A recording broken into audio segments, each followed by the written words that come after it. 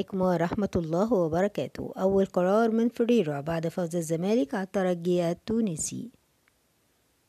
أعرب البرتغالي يوسفالدو فريرا المدير الفني لفريق الزمالك عن سعادته بالفوز الذي حققه الفريق على الترجي في بطولة دوري أبطال أفريقيا.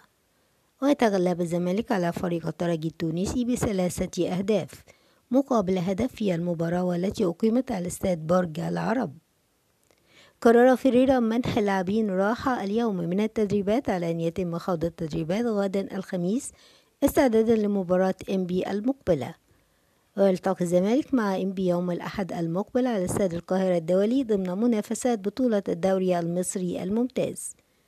وبعد الفوز على الترجي رفع الأبيض رصيده إلى أربع نقاط بينما يتواجد الترجي في الصدارة برصيد تسع نقاط وشباب بلوزداد في المركز الثاني برصيد واحد ست نقاط والمريخ بأربع نقاط.